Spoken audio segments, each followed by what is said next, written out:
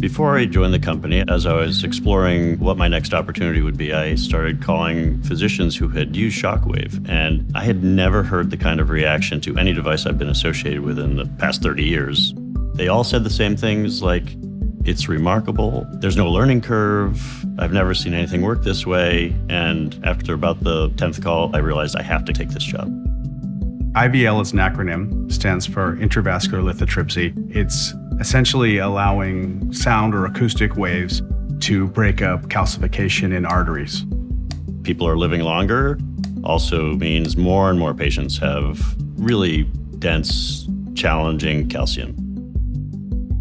IVL is taking sonic pressure waves, delivering them at very low pressure inside of a balloon through the tissue and having them be absorbed by the hard calcium and create shear stress inside that calcium and as a result fracture the calcium. You take uh, the analogy of a hard-boiled egg, you roll it onto a countertop and you create these micro fractures.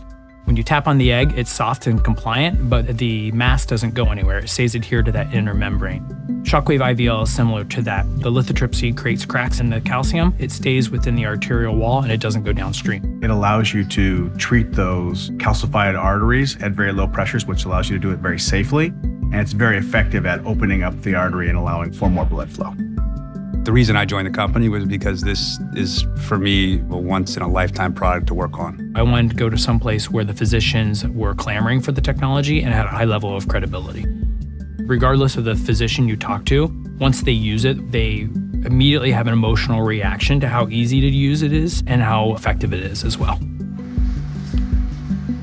There's uh, quite some calcium in the iliacs, and we used a emerging technology uh, to do some vessel preparation. Uh, we went there with a seven millimeter shockwave balloon. I think this is one of the most exciting technologies that I've been involved with, and um, I've been working in the lab for 15, 20 years now. We do uh, a ballooning to the reference vessel diameter with six atmospheres, then we deflate and start once again. So now please focus on how the balloon is going up. The first case I saw, the cardiologist was able to treat a patient who was so sick, had such complex disease in several arteries, and yet he was able to very simply and easily manage this patient and had a spectacular outcome. We might have really opened the vessel. The first case that people do where they see a result uh, where the, the mechanism is clear by imaging or they see the balloon, a, a dog bone balloon expanding, that one case convinces people that this is a technology that is going to be available for the long term. I think that's really a fantastic result. Yeah, exactly. There's no flow restriction. Look at that. This is amazing. That's very good. There's not many opportunities you have to work on something that I think can have a legacy where, you know, 10 years from now, 15 years from now in interventional medicine, people are still using shockwave and IVL to treat patients. And if you get a chance to do that, take it.